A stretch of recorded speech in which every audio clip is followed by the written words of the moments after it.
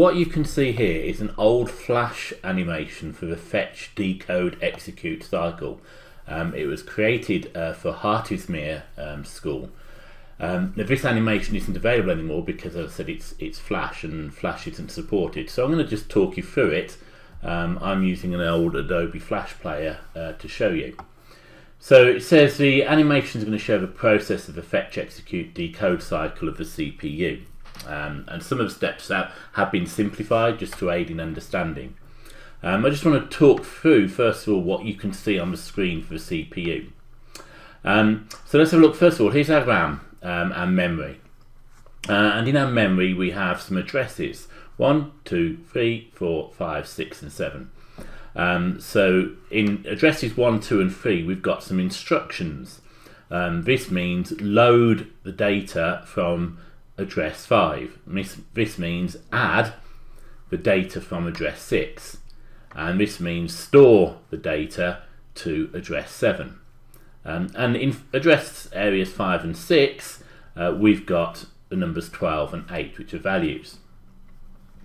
And within the CPU we've then got some buses. So here's our bus, this black line here, uh, and you'll see later that this will be separated into the address bus which is where addresses um, are transported, data buses, where data is transported, and the control bus, where any control signals are transported. We've got our control unit here. We've got our arithmetic logic unit, which does the calculations. And we've got our accumulator, which stores the current value that's been accumulated. Then we have some registers. We've got the program counter, uh, and this is showing us that uh, the next instruction uh, in the program counter is going to come from memory address 1. We've got the memory address register where we store um, the current address that's being used, and the memory data register where we store the current data that's being used, and the current instruction register which shows us the current instruction uh, that is being run. So if we click on play now, we can see that the first thing that's happened is that the program counter has been transferred to the memory address register. So the memory address register now has a memory address of 1. Next, what's going to happen is the control unit is sending a signal uh, and it sent that signal from the memory address register and it's collected from the memory address register the data that's needed on the address bus. I said data, but what I really mean is an address. But an address, of course, is data in this sense. And in memory, it's now showing that what it's going to do, this is the fetch part of the fetch, decode, execute cycle.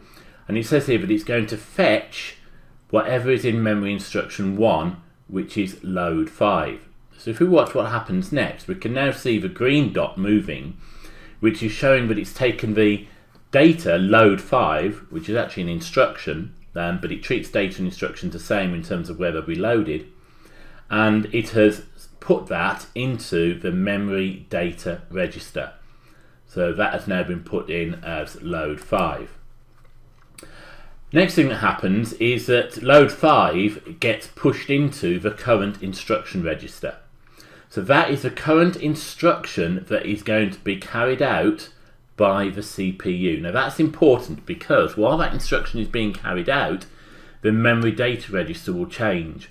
And so we need to be able to remember, the CPU needs to remember what that instruction is. So we've now fetched uh, that data. Next thing now is to send that instruction to the control unit so that it can be decoded. So this is the decode part of the fetch, decode, execute. And the control unit can see that it needs to load the data from address register, sorry, address um, number five. So what's going to happen now is the control bus goes up and it increases the program counter just to say that the next instruction that will be happening will be coming from memory number 2, memory address 2. And that is just because we're going to be changing data in the memory address register and the memory data register. So we need to know, a CPU needs to know where the next data is going to come from. The next thing that happens is this uh, control signal goes up to the memory address register and says, right, well, the control unit wanted to wants to load data from address 5, so let's put address 5 into the memory address register. Um, and so that knows that then the next area of memory that's going to be used is address number 5. Now can you see the importance now of why we had to move the what was in the current memory address register, which was the uh, or, or increase the program counter from 1 to 2 before we lost what was in the memory address register. So that location 5 now needs to be loaded. So watch what happens now. The address bus goes along with the control bus and says to the memory, okay, I need whatever's in address 5. So memory address 5 has got the value of 12. So we now know that that data has got to be loaded. So that now gets sent back along the data bus because it's data. And that memory data, uh, that data gets put into the memory data register. So that is a value of 12 and that went along the data bus because it's data.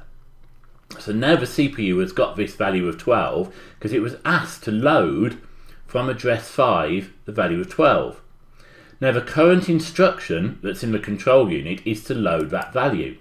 So what's now going to happen is that data goes along the data bus and it gets loaded into the accumulator. So the accumulator has now loaded data 12 the value 12 has been put into the accumulator. That came from address 5 because we loaded address 5. So we've now loaded the value 12 from address memory 5 into the accumulator and that is the end of executing the load instruction. So we can now move on to the next part, the fetching the next instruction. So could you see there that program counter number 2 moved into the memory address register. So we now know that the next instruction is going to be fetched from memory address register 2. So let's do the fetch. So the address bus, address number 2, goes along with the control bus data to say that we're fetching the data and we're going to fetch the instruction, that it could be data, from memory address 2 so it gets put into the memory data register and that is add 6. So add 6 is our next instruction. So that gets moved into the current instruction register and the control bus will take that to the control unit so that it can be decoded. So we've done the fetch, we're now decoding um, and then we'll be able to execute. So it decodes it and it says, right, what I've got to do is I've got to add whatever's in memory address 6 to the current value of the accumulator. It's not adding the number 6, it's adding whatever's in memory address 6. So let's watch that happen. So first of all, our control bus goes up and it says, right, well, we're going to increase the program counter to 3 so we're ready for the next fetch. And it goes up again and it says, right, well, we're adding 6, which is address 6, so I'm going to change the memory address register to 6 so we know, or the, the CPU knows, that that is where to get the uh, next instruction from.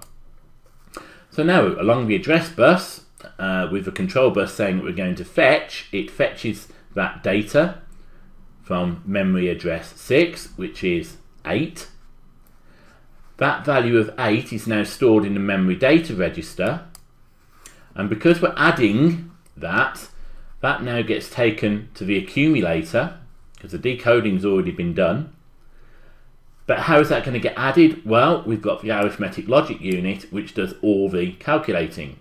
So along with the control bus to give the instruction to say, right, add these numbers together, 12 gets added to 8. So the accumulator now has the value of 20. So we've now executed the instruction of add 6. So we're ready to take number 3 from the program counter, put it into the memory address register, and that means that we're now ready to fetch the next instruction. So let's watch what happens. So the address bus goes along with a control bus signal to say fetch and it returns along the data bus the value which happens to be an instruction for memory address 3 which is STO7. which means, well, well, I'll tell you what it means when we go to the control unit. So that gets moved into the current instruction register, which now gets moved down to the control unit to be decoded. Now the decoding says that STO7 means store whatever value is in the accumulator at the moment in address 7. Notice it's also increased the program counter to 4 so we're ready to fetch the next instruction. So let's watch what happens. Well, the address has got to be updated so the control bus is going to update the memory address register to be 7 we now take from the accumulator the data along the data bus and put it into the memory data register. This now means that that can be taken to memory because it's got to be in that memory data register before it can go to memory. Now, along the address bus goes address 7, along the data bus goes the value 20 from the MDR, and along the control bus goes the instruction that we're going to store that value from the MDR of 20 into address number 7. And that has now completed the execute cycle. Now the next instruction is instruction number 4 and instruction number 4 is empty. So there are no further instructions to carry out here. So what you've seen this go through is three full fetch, decode and execute cycles.